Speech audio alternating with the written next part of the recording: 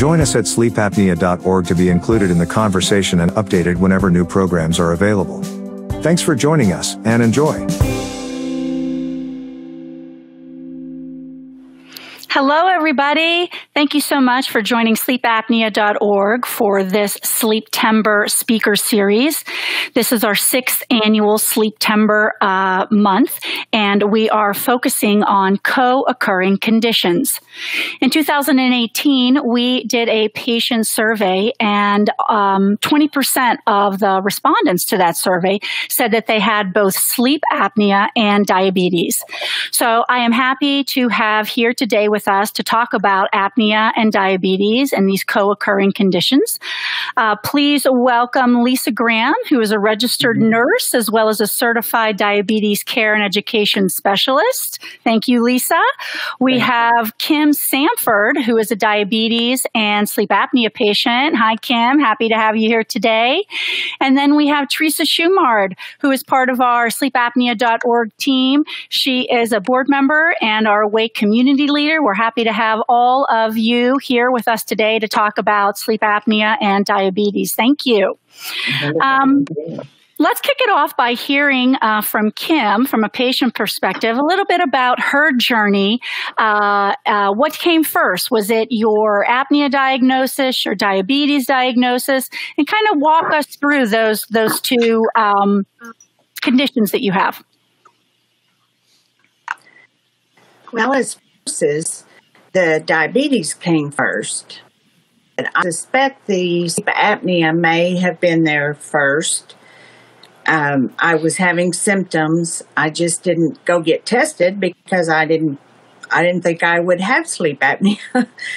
and in mm-hmm. 2016, I went to a new doctor, so he ordered all the blood work, and it came back um, showing that my A1C was very high um, so I started some medication for diabetes. And about a year later, my husband told me that I was actually keeping him awake at night because one, snoring, and the other, I would stop breathing. And he said I had been doing that for quite some time. So I talked to my doctor about it, and he suggested I go see a, a sleep doctor which I did. And the first night that I went up and stayed with all the wires, um, it showed that I, I was having, I believe it was 19 episodes per hour. And so they had me come back and sleep with a CPAP on. And I couldn't believe how much better I slept that night than I had in years, even being in a strange place. I the sleep was so much better. Mm-hmm. I couldn't believe it. Yeah, so I've yeah. been using my CPAP ever since.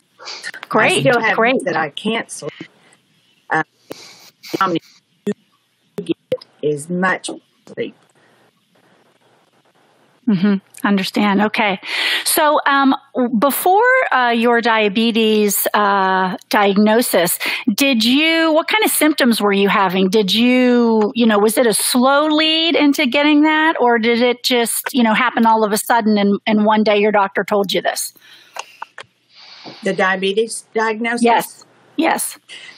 I had been having extreme fatigue. I would tell my husband, I'm so tired, I don't feel like I can walk across the room. I guess I had gotten used to the not getting good sleep because it had gone on for so long. The the extreme fatigue was having um, very dry mouth, water all the time. Um, it's really the only symptoms that I can relate. And at the time, I didn't relate it to diabetes because I had no idea that mm-hmm. could have diabetes. Yeah, yeah. So, Lisa, let's bring you into the conversation here. Um, you know, we in the sleep apnea community, uh, we often talk about you know being very tired during the day, having that kind of chronic fatigue. Um, but it sounds that it might be it's it's similar yet different when you're looking at the two when you when you bring in the diabetes aspect of it. Yes. And, you know, I saw that you asked him in regards to um, symptoms. Many times with diabetes or early on, many people have no symptoms. Um, but when you have blood sugars that have gotten to a very high level, that is that sometimes the symptoms that Kim spoke of that we may have where people feel extremely tired, uh, of course, extreme thirst, um, um, sometimes that leads to, of course, urination. And that's just, again, how the body, of course, is working. A lot of times they're so tired because um, if, if, just a little bit back in regards to diabetes, of course, diabetes means blood sugars are too high. Um, and a lot of times what controls those blood sugars are carbohydrates, the amount of, of course, carbs, sugars, of course, which carbs turn into sugar that we, of course, take in. So when you have an individual that has diabetes, the insulin in their body that's helping to move sugar that they've taken in from their bloodstream to getting it to their cells is not working the way it's supposed to. Sometimes it's not available at all. So when you have these carbohydrates, which are the um, fuel source for the body. They give the body energy. So when I have those carbohydrates that can't get out of, of course, my bloodstream and get into my cells, that of course makes me tired because I don't have any energy. I can't get the, the of course, that energy. So oftentimes that people do speak of being very tired because that insulin not working to move the sugar to that, um, to the cells, then people don't lack, of course, that energy. And of course, with uh, sleep apnea, that lack of energy comes from not being getting a good night's, of course, sleep. So that's in a sense that correlation between that tiredness um, with people with diabetes not being able to get the sugar inside the cell so they can use that energy, and then of course with sleep apnea, not just getting the rest, um, and so their bodies haven't had the opportunity, in a sense, to recover. Yeah.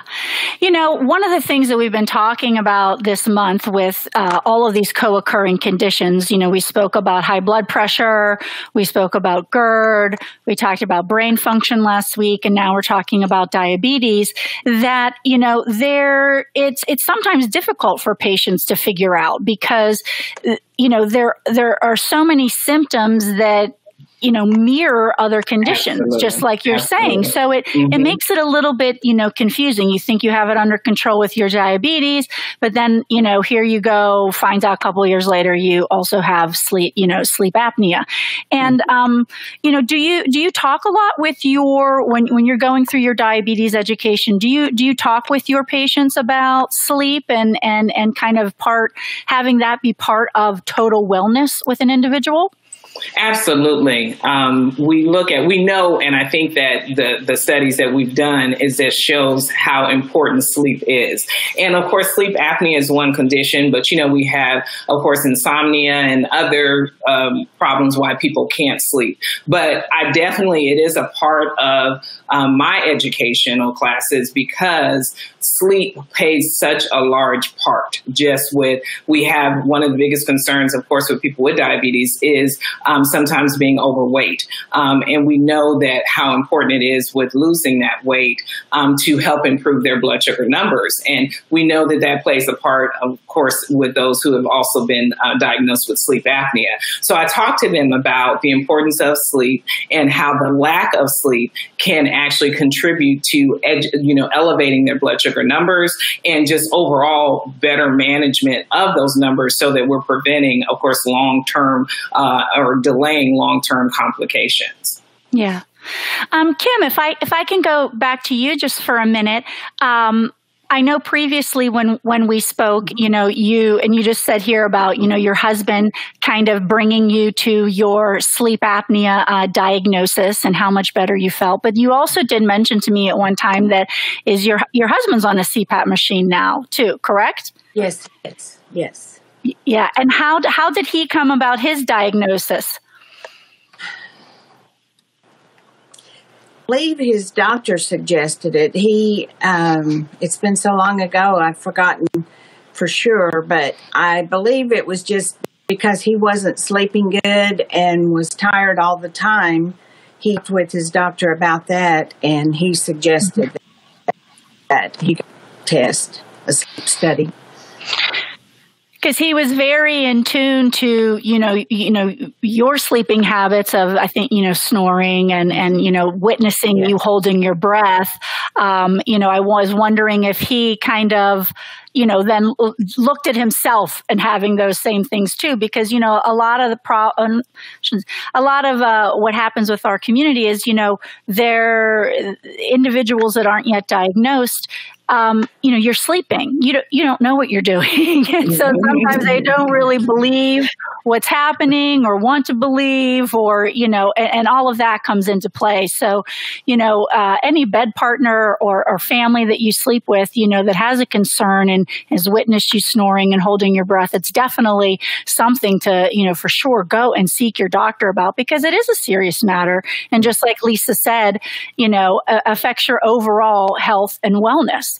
Mm-hmm. Um, let's bring Theresa into into the uh, conversation here. Let's talk a little bit about you know your history with uh, with sleep apnea, not only being a patient but also a um, you know working in um, the clinic, and then also diabetes patient as well. Yes, um, I was working the night shift, classic uh, shift worker tales of woe. Uh, you never get enough sleep. You you learn to sleep when you can, and I think that that sort of carried me over when I started having all these symptoms. I just had trained myself sleep when you can, and so it got ridiculous. Though it got it got to the point where I was sleeping every time I would get in the car as a passenger, not as a driver. Um, let me clarify that. Um, and I, my husband and I were driving from Texas back to Pennsylvania, and every time I would get in the the seat, I was asleep before we got to the interstate, and I said, What is wrong? You know, I guess I'm just really bored, but that's not like me. You know, I would want to see what, what I was seeing. I love road trips. and I could not stay awake. I could not stay awake at home, even when we were still at my in laws. I could not stay awake. And every afternoon, I just would go back in a quiet spot and just it didn't have to be a quiet spot, it could be anywhere. I couldn't walk across the room without feeling like I was going to pass out or what have you. And I just started having these swings. And sometimes I thought, why am I so dizzy? What's going on with that? And so I would get dizzy or I would get, then I would start to get nervous, like ultra nervous. And now I realized what was happening. My sugar was dropping. It was so used to being high. Mm-hmm. And here I would have a, a, low moment and I would start trembling, like like trembling. And so I didn't know what to do. So I would take a little thimble uh, a shot glass of wine because mm-hmm. I thought, well, that'll calm me, but it's not like really drinking, you know. Mm-hmm. And so it right away I would feel better. So I'm telling this story to my doctor and they're they're writing this. You know, I, I met an internist now. I'd just been with a, a general practitioner before that, and uh, he said, "We think you have diabetes," and I was like, "Oh, come on." You know, I, I, you know, I don't have any symptoms. He says, yes, you do. You are so fatigued and your mouth is dry and you're having these highs and lows and now you're drinking the wine and, and there you go. And I was like, no way. I didn't believe him and they took the test and oh, I was really bad diabetic. I mean, me, super bad. let, let, me just interject here and ask Lisa to to talk a little bit about you know blood sugar being you know just like Theresa said there's the, there's there's a high range and then there's a low range. Are the are mm-hmm. those um, what you're experiencing? Are they the same? Do you feel the same? You know, is when the same when it's low and then it's higher? Is it different? Well, some of it, I think, like you said, Justine, that's the challenge, of course, a lot of times with a lot of these symptoms, because these symptoms do mirror symptoms of other conditions. Um, you know, we spoke about, of course, the, the feeling tired, and that's because, of course, sugar is not moving from the bloodstream, getting into the cells, and this feeling, in a sense, of this thirst. And um, a lot of times, usually, thirst goes with going to the restroom. Well, that's, of course, uh, and the thirst it, it kind of one, you know, who what came first? They said the chicken or the egg. But um, again, a lot of times that's because the body there's so much sugar in the bloodstream, and the body's trying to get rid of that, so it makes you go to the bathroom. Well, now I'm going to the bathroom. I need to drink because I keep going to the bathroom. So, so those are again, it's it's the the the body in a sense trying to correct itself. I tell people the body's an amazing instrument. It has all of these kind of fail safes in regards to if something's not going right. And when you have, of course, the low and high, of course, blood sugar, some symptoms are the same. Um, when we talk about, of course, low blood sugar, that's because there's no sugar in those cells. So the body's like, what is what is going on? So like you're saying, the shakiness that I feel, irritability, uh, but you know, also I can feel t- tired sometimes then as well. Uh, but I also feel that on the other side because now again the same thing is happening. There's not sugar's not getting into the cell where the body can use it. So some things are classic in regards to high, and that's where um, like we talked about the uh, feeling hungry sometimes, the sleepy, but we also feel that on the low, of course, side because it's still kind of dealing with the same issue. It's just that, like I said, we don't have the sugar in the cells where the body can um, can use it. And so I always tell people with diabetes that's why it's so important that we stop and we check blood sugars if we can. Sometimes if you drop too low, um, I just need to get in something really quick because I just don't have the time to, of course, you know, get the monitor out and do all that. But you want to see what you're dealing with because sometimes these symptoms may have nothing to do with diabetes. So what I'm feeling, it really may be something else that's going on. So once I am able to check my blood sugar, I'm able to see is it, of course, is it high? Then I'm, I'm okay. What do I need to do there? Or is it low? Because what we can also do is take something when it's high because I think it's low and now I've made it even higher. So if we have an opportunity, it's always a good idea to stop and check your blood sugar to really see what am I dealing with because what you're feeling may not have anything to do with your diabetes. Right. Theresa, talk a little bit about you. You know, you started off talking about your uh, shift work. Mm-hmm. And, you know, so talk a little bit about that and how you were managing that between your sleep and, you know, a big part of diabetes, as, as Lisa's discussing, is, you know, uh, uh, managing your blood sugar, which is food consumption, what you're drinking, what you're eating, um, when you're taking your medicine, all of those kinds. How how was that whole thing, especially since you had shift work aspect to it. Mm-hmm. I imagine it was difficult. Um, it was so impossible to know what to do when, especially when I started having the, the diabetes symptoms that I didn't, I mean, I must have had them for a long time before it actually i probably had the pre-diabetes i probably went through the whole gamut of you know the scenario but um, i was just having to eat what i could when i you know it's just sort of you don't have time to really cook you know all the other responsibilities so you grab whatever is you know leftover or whatever and just eat it inappropriate times when the uh, you know metabolism is way off when you're up working.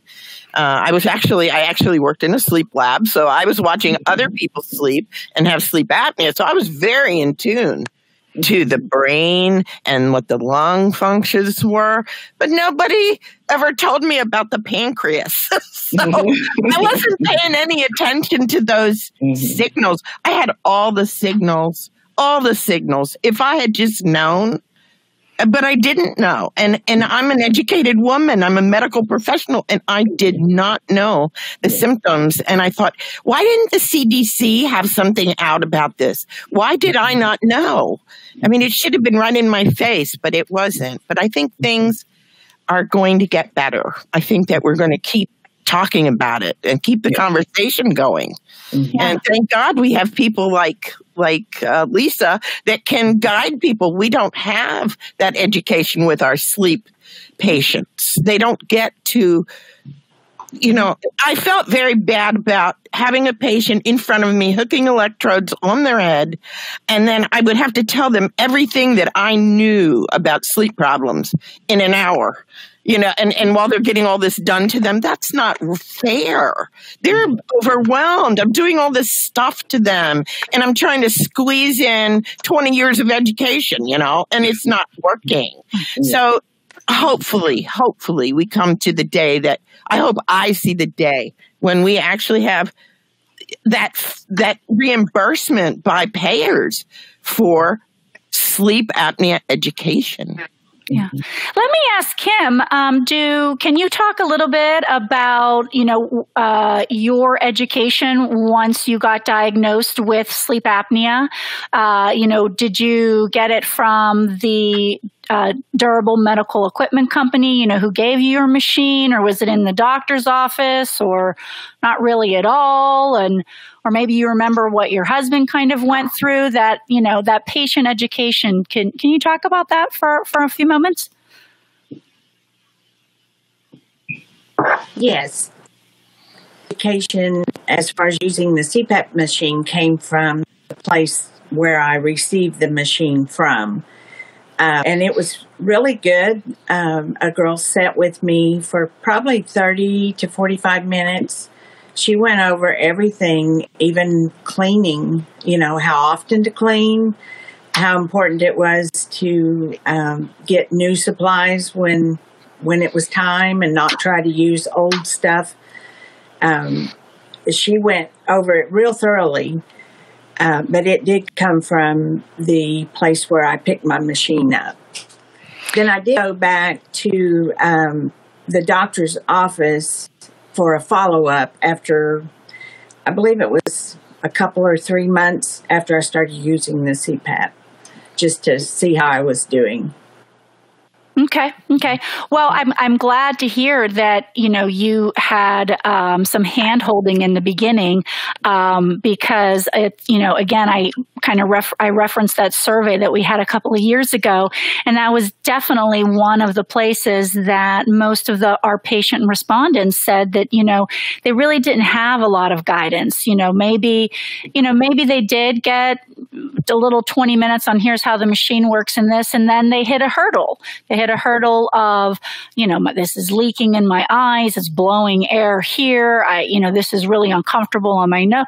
All of these things that happen with the mask and the humidity and the machine, and there just wasn't a resource. I mean, that's definitely that was something that was, you know, uh, reported a significant amounts on uh, on the report. Um, Lisa, why don't you talk to us a little bit about, um, you know, when when you're a diabetes patient and you immediately get diagnosed, you're in the doctor's office, right? And they have your test results there and they say, okay, you have this. What happens next? What I mean, you can't leave without some sort of uh, medicine or or prescription or or plan that's really going to you know uh, uh, uh, manage it for you. Correct?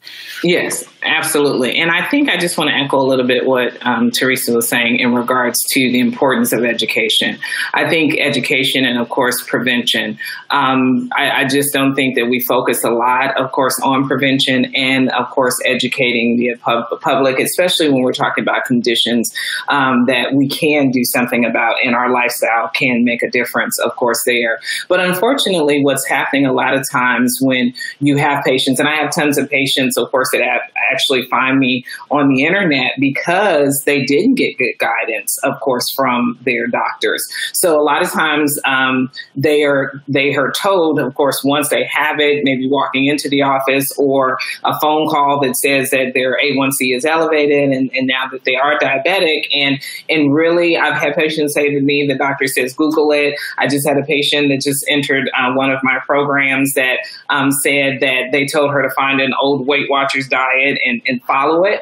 Um, and so, again, we're, we're dealing with sometimes on the side of the practitioners or them just not knowing, of course, of resources that are out there. Of course, not um, actually having sometimes educators within their, um, you know, their offices, but even them being able to say, I don't know, but let me refer you here. But right now, um, the CDC um, as well as uh, my professional organization, um, which is the Association of Diabetes Care and Education Specialists, we're really pushing and pushing information out there to get to physicians because they can't get to me if they don't know about, of course, me. So a lot of times the people that that come to me are that they wanted to find out more information.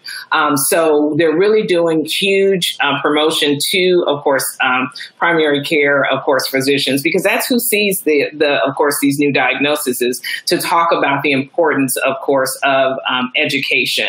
So we know how vital, as, as they've just talked about, Theresa, of course, and Kim here, in regards to having that just with sleep apnea. But diabetes is something we truly can do something about. So if we can get people into education, it really can truly make a difference, of course, in their, you know, just their you know, their life you know, span goals, all of that, uh, if they receive that that education. Theresa, did you did you want to make a comment? Well, I just think about all the body systems that I have wrecked because mm-hmm. I was not in tune with the uh, number one, I, I did know the risk factors. That much I knew from books. But in front of my face, I didn't know the symptoms. That mm-hmm. was that was the sad part because I am a very good patient. If the doctor says you do this, you do this, I do it, you know? And so in fact, I was yeah, I, my my little doctor, he's he's he's I have shoes older than he is, but he's so wise, wise beyond his years and he says to me, Theresa, you know, you're doing fine. He said, but he said, how did you do this? You've only been, you know, three or four months diagnosed and you've already cut your number in half. How did you do that? I said, because I'm obsessed with staying alive, you know. and I, I said, I had a grapefruit every day and I had, you know, I just didn't eat sugar and I didn't, you know, I, I just paid attention to what I was. And he said, well, tell everybody in the uh, waiting room what you did. so, kind of, you know, uh, but it, it, doesn't stay. It didn't stay that way. I, I have to say, I fell off the wagon a few times. It's like any other thing, you know. I have a sugar addiction, so yeah. I, I, just wanted to uh, make a point with what you know Lisa said. Um, it's it, it's similar uh, in regards to sleep apnea. Uh, how you said that sometimes the physicians aren't aware of the resources that are available. Mm-hmm, mm-hmm. Well, um, you know, sometimes, uh, you know, from from from talking to our community and our patients, you know, sometimes, you know, depending on what door they walk into, they don't they don't ever hear about the sleep, so they never mm-hmm. factor it in. So it's you know, mm-hmm. it's, it's, on parallel tracks there. Do you know what I yes. mean? Like, yes, you know, the doctor isn't aware of this education being over there uh, available to these diabetes patients, and and you know, and doctors aren't factoring in um, the the the sleep component into the Absolutely. you know overall health of the individual. And you know, if, just like we said earlier, you know, if your sleep is really uh, interrupted, if you're you're not breathing, you're holding on to CO two, all of these mm-hmm. things are happening. You know, if you have other conditions going on is not going to help them very much. you know, I mean, it's not going to create yeah. an environment where, oh, I'll be able to get my diabetes under control mm-hmm. or my mm-hmm. reflux or my high blood mm-hmm. pressure. It's just mm-hmm. going to be, you know, uh, uh, difficult uh, for, yes. you know, and if I might add, Justine, I think that when we think good sleep is at the core of overall health. I think that we we have to make sure that we are getting, of course, rest to the best, of course, of our ability.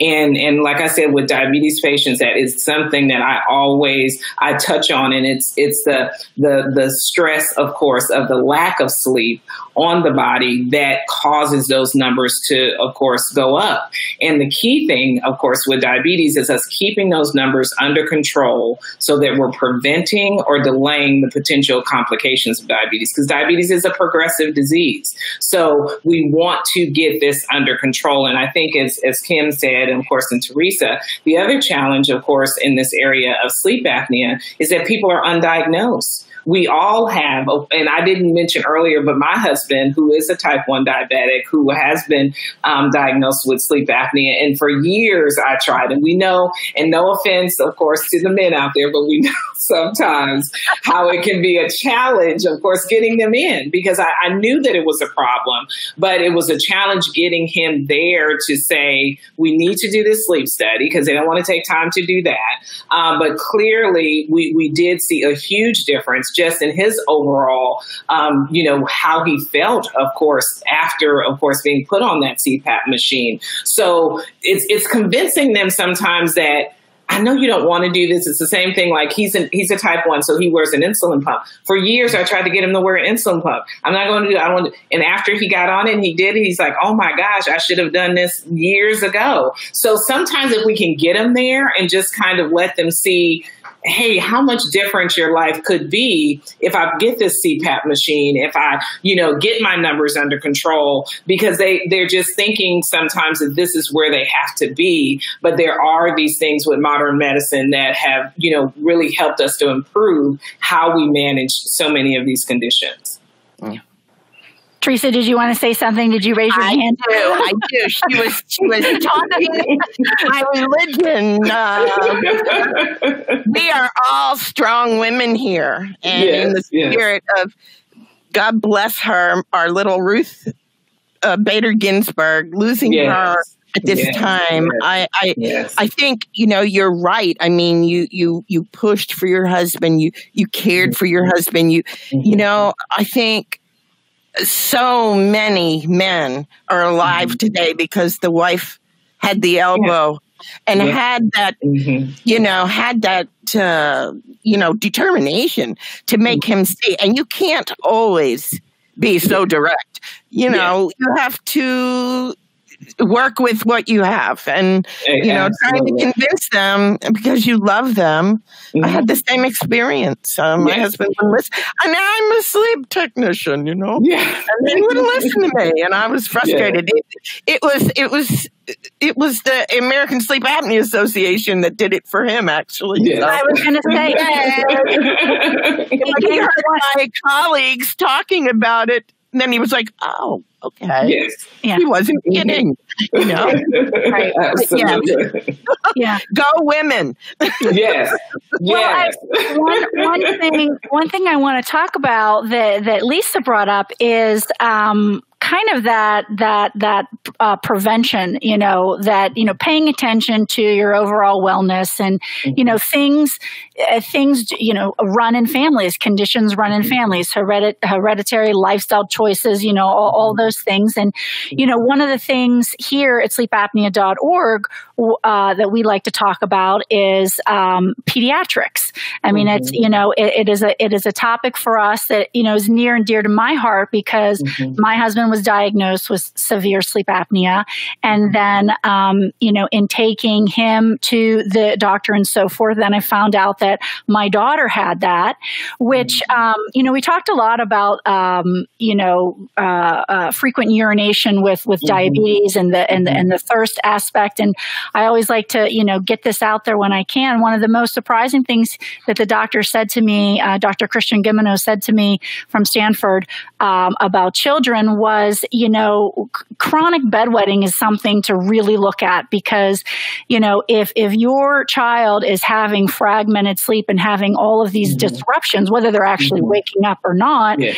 Um, you know, all these chemicals get released in your body and it makes you have Yeah. to go to the bathroom. Mhm. And then, you know, Mhm. and then the four year old, you know, has an accident. The six year old Yeah. has an accident. Mhm. So, you know, just, I mean, it's, it, it just circles around to what we were talking about that, you know, everything is intertwined. Everything is not Mhm. always siloed and, Absolutely. and everyone needs to look for those um, education options you know like like from yourself or from our Mhm. organization Mhm. you know, to try to be uh, you know an advocate for yourself and you know and your family um, you know I, I think that that's really really important because you know from our standpoint and i'll let you speak a little bit to to the progression of of diabetes but you know if you find these um, uh, if you are able to identify the the, the sleep issues uh, in, in, in children and pediatrics, especially because sleep apnea can run in families. We've talked about it here with with uh, uh, sleepapnea.org before.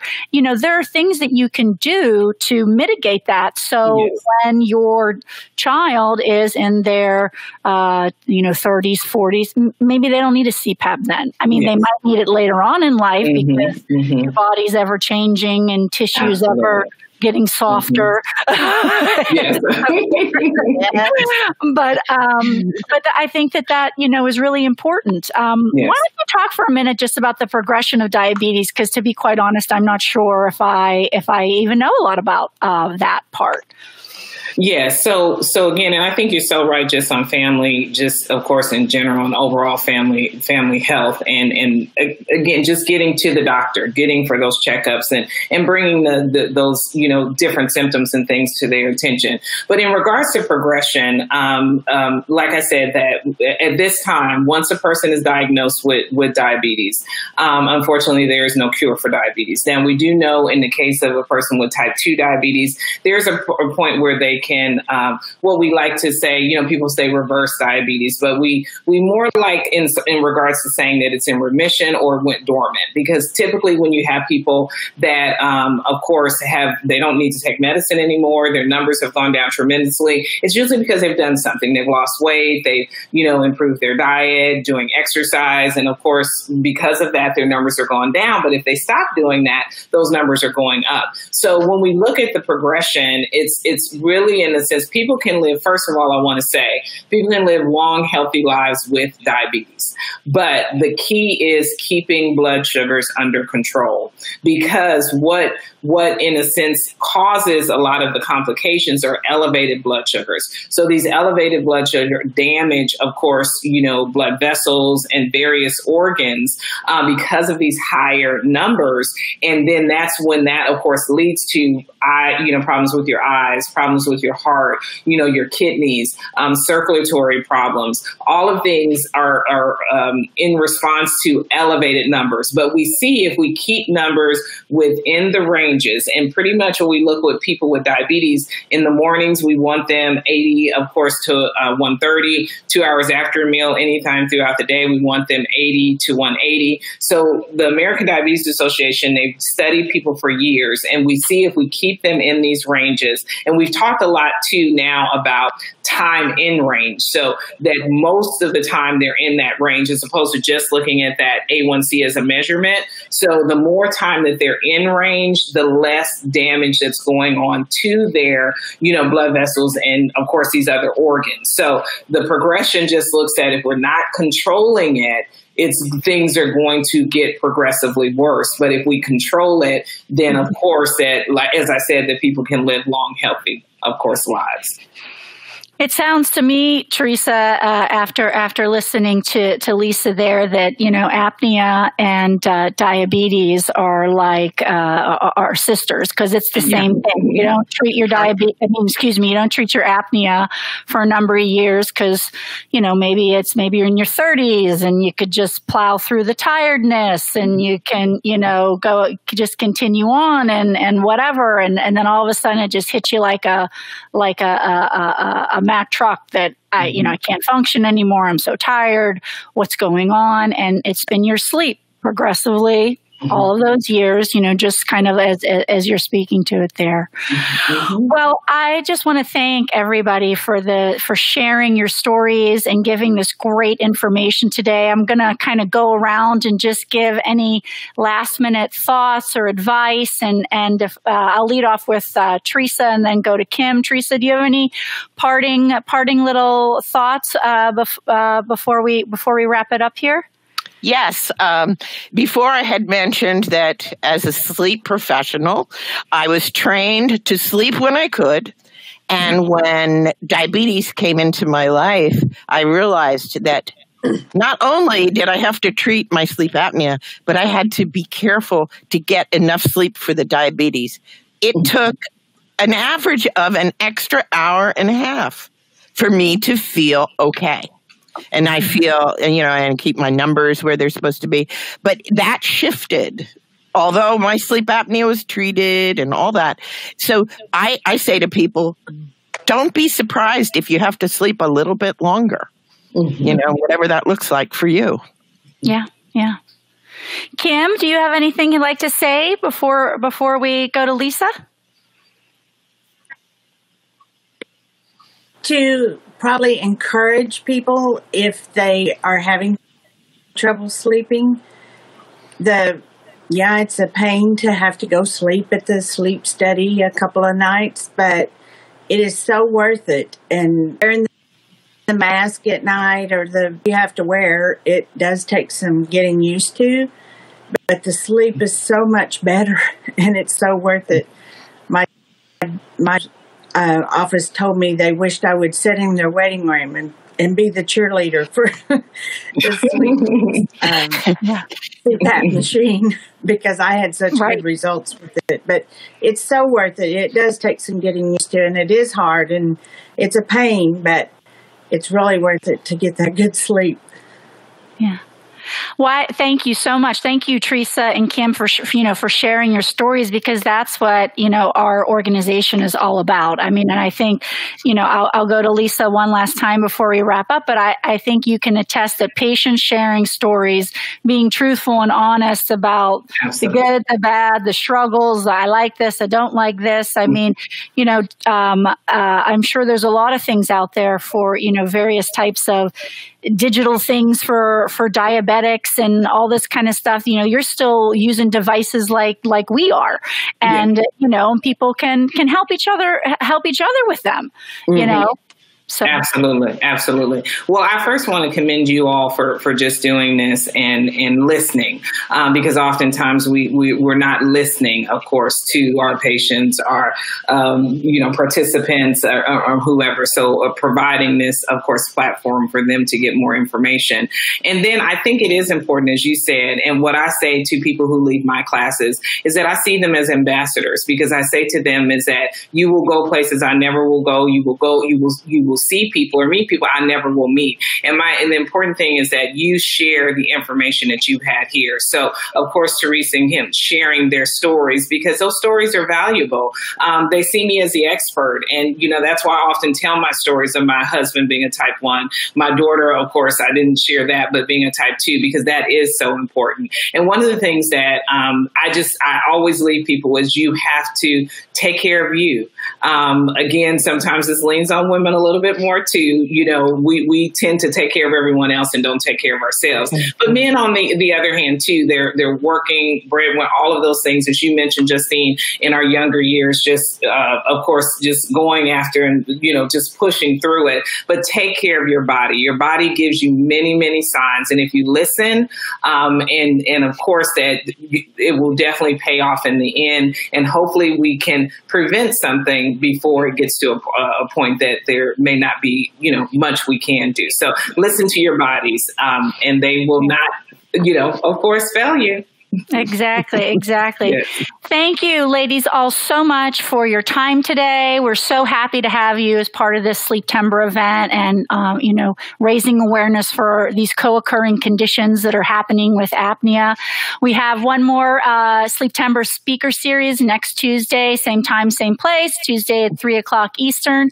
And we're going to wrap up the, the whole month with, with a great group of sleepapnea.org team members and some special uh, experts uh, from the uh, NYU Health Disparities team. So we are looking forward um, to having them. And thank you all so much for joining us and have a wonderful afternoon. All right. Thank you very much. Bye. Thank you. Thank you for joining us today. Be an awake angel and you can help those financially impacted by COVID 19.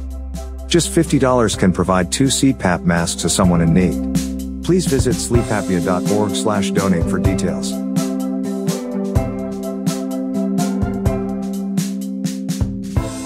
The ASAA is a patient-focused organization. Please like and subscribe to our YouTube page, join us on Facebook, Twitter, Instagram or sleepapnea.org and you can join the conversation. It's all free.